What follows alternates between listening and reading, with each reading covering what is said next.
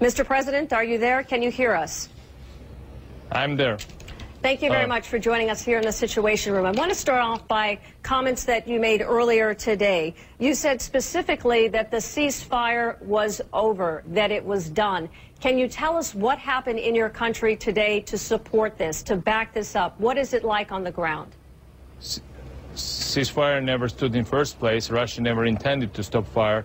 Russia's Russian tanks continue to rampage for Georgian towns and villages, killing people, destroying buildings, looting, um, uh, the setting the camps for internment of people, and uh, doing uh, you know summary executions of people on the side. They've been doing worse things what I've heard in the past and I could never imagine happening in my country.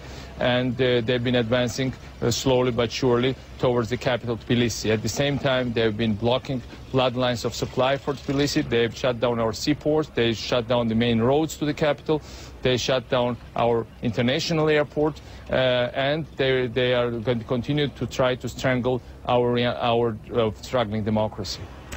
Earlier today, you accused the United States of having language that was too soft. You said earlier on CNN that some of the first statements from Washington were pursued by the Russians as almost a green light for doing this because they were too soft. There was an ultimatum that was given uh, by a Russian official to the United States that said the Bush administration either backs Russia or Georgia. We heard from Secretary of State Condoleezza Rice just moments ago. I want you to take a listen to what she said.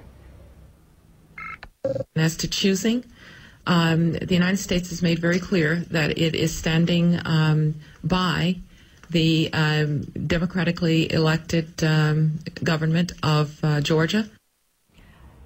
Are you satisfied with her statement? What more do you want the Bush administration Well, to I do in terms for- of support? I never accused the United States in first place of anything. I just said that Russians mistook the some of the statements at certain level that you know for a, for you know inability of the U.S. to react to flagrant violation of every international law and any principles of justice. What we've been witnessing for the last days is a brutal, calculated, cold-blooded, premeditated murder by Russia of a small uh, democracy on its borders.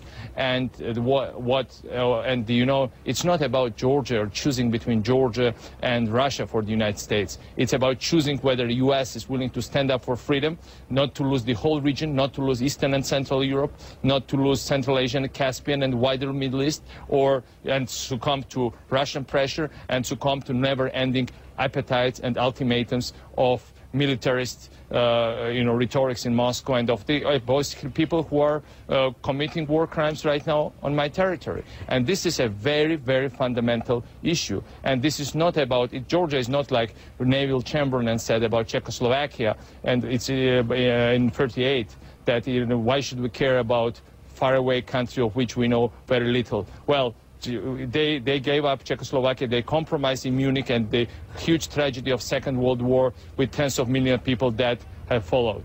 Uh, now what we have now is, uh, what, what we really have now is Georgia being, uh, you know, Georgia being attacked, and I think this is just starting of a big chain of events that might unfold if Georgia falls. Mr. If, uh, President? for people in, in the West and the world don't stand up for freedom. Mr. President, specifically, you spoke with President Bush earlier today. What did he promise you? What has he said Absolutely. in terms of the United States' help or, or aid to your country? President Bush expressed unwavering support for Georgia's elected government, for our independence and territorial integrity. And there will be no compromise at the expense of our territorial integrity, like there were compromises in the past in terms of appeasing one dictatorship or another uh, that was in the past century. The U.S. was famous for never making such deals. The U.S. The only, is the only big democracy in the world that never went for appeasement and never went for all kind of shady deals. That's the main force and appeal of the U.S. for every small and big nation worldwide. That, that's why my people are so sympathetic of the United States. That's why we had forces in Iraq to fight for the U.S. and people were, our people died there, but we never ever asked for extra gratitude because we have common values. We share those values. And what Russia is trying to kill right now in Georgia is not just killing my country and getting rid of me as its president, but it's about killing uh, it's about killing the idea of freedom, democracy, and future for the whole region. And that's that's that's a very very essential dilemma. Specifically- people. President, I spoke with President Bush. He's, he, Specifically, he spoke about humanitarian assistance. Yes.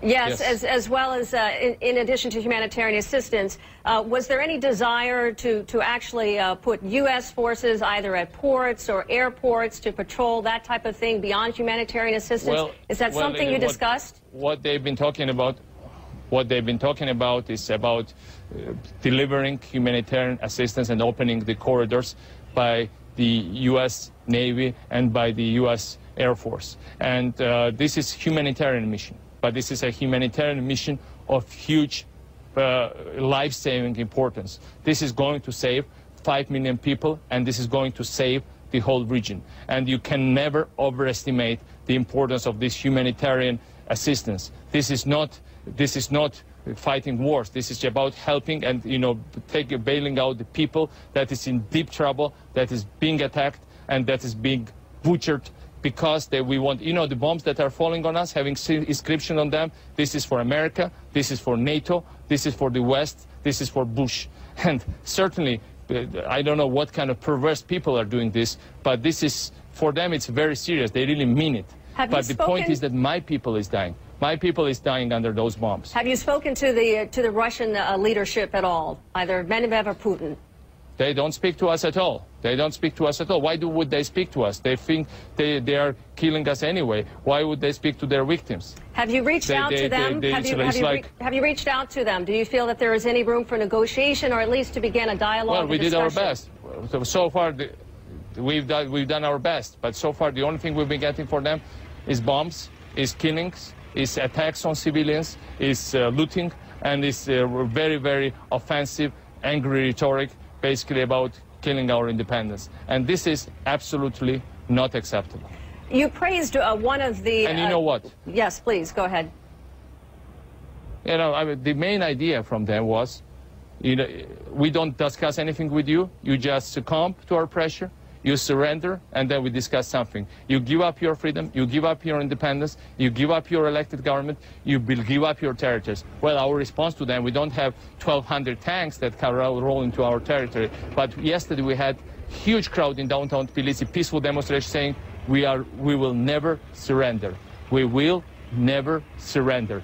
That's our message of my people to people who invaded my country. Mr. President, you earlier you praised uh, one of the, the candidates, uh, the presumptive Republican nominee, John McCain, for saying that we are all uh, Georgians. Uh, and then you went on to, to say earlier today that uh, you're looking for more than just words, but some actions here. Senator Are- Obama was also made statement, basically. uh, Yes, uh. Senator Obama was also very supportive. Uh, do you do you expect either one of them to be able to do anything at this point? point, and do either one of these candidates offer something that you believe will move this forward, this this peace process, or or or move this this this forward here in terms of the conflict with Russia? Well, I've been talking to Senator McCain several times a day, and he has been very reassuring. He has been really helpful in raising our morale. You know, I think he uh, spent less time on his presidential campaign these days and lots of time in Georgia, and I really appreciate that because Senator McCain has been fighting for freedom of of Georgia for many, many years. He understands every issue involved here. He understands what we are punished for.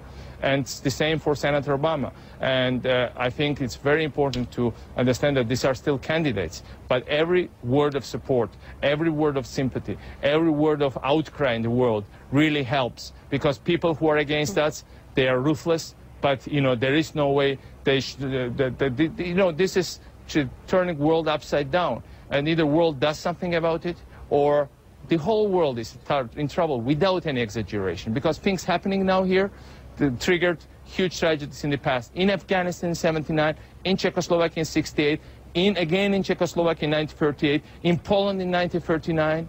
These things happened in the past. I'm not exaggerating. This is happening right now here. Either we wake up and look into the eyes of the bitter truth and do something about it, or it will be never-ending stories of increased tragedies and increased uh, human suffering and loss. President Saakashvili, thank you so much for joining us here on the Situation Room.